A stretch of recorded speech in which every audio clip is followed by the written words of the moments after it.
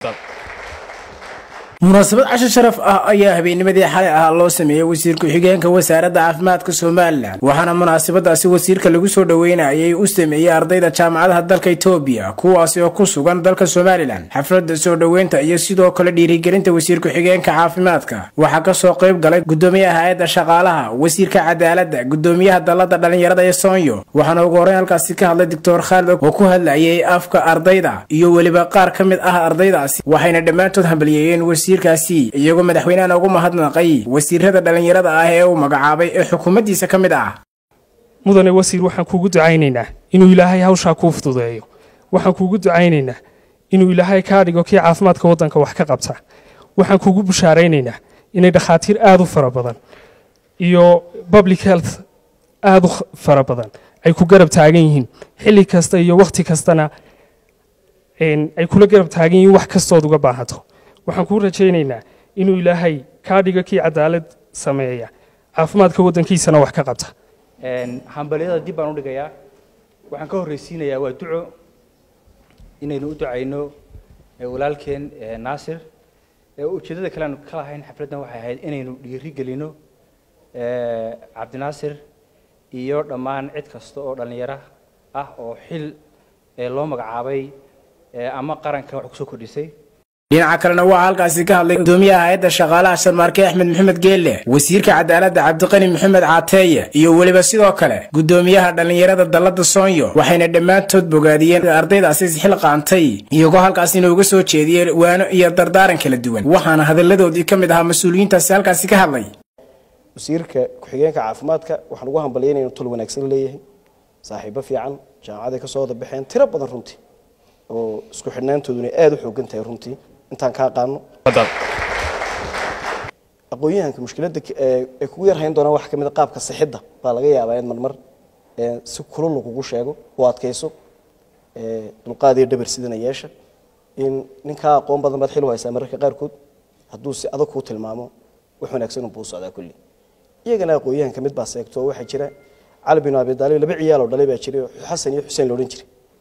Oday weyno waxay arkeen weysada sax qaldaya si qaldan u weysaysanayeen markaas aqoontii bay garan waayeen si allaaliis ay ugu sheegaan. Odaygu weyn yahay weysadiina u qaldaya waxay ku dhahan adeer. Labadeedana weysada ku maranay baloon kugu weysaysanayna midka saxan noo sheeg. Markaas labadoodiba ku horweysaysten odaygu weynaabaa iska fahmay in isaga loo jeedo una ahayn labadeena ka qaldantay markaasuu ku yidhi ciddii idin soo barbaarisay baa sharaf lahayde anaa qaldan. Labadiina waad saxantiin cashir fiicanna waad barteen. Intaa in ka badan baa suudaan lanagu casuumay markaa dadkuna afkaaray wadaan. Anugu waxaan aaminsanaya nationalismka somalilander ayaan aaminsanah markaa ayaana fikradaha laynaga dhaadhicin ethoobiyan suudani waxaa waxaa ka muhiimsantah somaliland. Markaa marjacaan u noqonayno taasaa muhiima. Markaa waxa weya dee annaga xil baana saarane. Wasiirkuna waan duceyneynaa idinkuna waxa wey waxaa dalkeena aan u qabana insha allah in wada dalkeenu maaha inuu noqdo mid aynu maanta un extension u qaadanayno aan maanta iyo berri aanay waxba ku kala duwanayn. Maanta iyo berrina waxay ku kala duwanaan karaan unoo kale marka aynu maanta tacab la nimaadno berri way ka duwanaanaysaa maanta. Laakiin haddii aanu tacab jirin haddii aanay shaqa socon haddii aan taarget la yeelan oo aan risal la hiigsan waxaynu nahay ummad sanadkiiba koobi garaynaysa oo extension u qaadanaysa mustaqbalka. Hadhowna waxaynu odhanaynaa o mustaqbalkani kii aanu doonaynay maaha dalkani dalkeennii maaha caafimaadkiisu aada buu hooseeya yaa wax ka qaban kara dalka ma xukuumad keliya wax ka qaban karta? Ma ummadda shacabkiisa iyo dadka waxbartay wax ka qaban kara?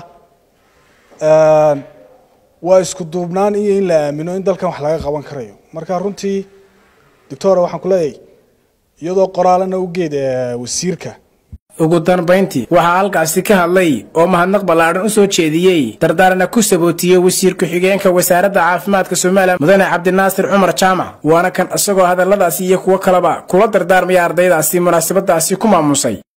Runtii dhallinyaradii faraha badnayd kooliiga aanu ahayn inta badan soo wada noolayn etoobiya wakhtigii adkaaya class lifekii aanu ku soo wada jirnay isku hawlay inaynu caawa halkan ku kulanno runtii intii aanu dheelka imi ilaa fiidkii farxad badan baan dareemayo. Bacdi sababa inaan joogay manaa marba qof maskaxdeeda xataa waxaan gaadhay heer qofka markaan arko kii la socon jirayna maskaxdeeda soo dhufanaysay. Marka runtii aad iyo aad baan tiimkaana uga mahad celinaya oo ugu horeeyo runtii maxamed kayse aadam runtii si gaarana aanu asxaab ahayn. Mustafa cabdilaahi xasan oo runtii halkaa dambe aan ka arko waqti badan geliyey runtii facebookana laga yaaba aad waxaa loo hadal hayaa xukuumadda cusub ee madaxweyne muuse biixi cabdi uu magacaabay.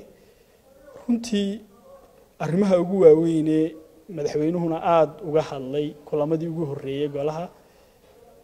Dadkeennana ay u muuqato in dee baahiyaha la awdaa waxaa ka mid a kow. Waxyaabaa la isla garanayo qof walba uu garanaya waxaa ka mid a in oo la leeyahay common problem baa jira. Ah qabyaalad wax la idhaahdo wax badan baa inagaga xidhan mushkiladda qabyaaladeeda ka taagan dalka. Haddaba si halkaa loo dhaafo oo qabyaaladda wax ka duwan loo helo tallaabadii koowaad madaxweynuhu qaaday waxay ahayd inaanu magacaabin cid ay reer iyo qabiil ay keeneen ama qof uu suldaan soo keenay ama rekomengareeyay aanu jirin. Qofka ugu cabdisamed jaamac axmed telefishinka ariya magaalada hargeysa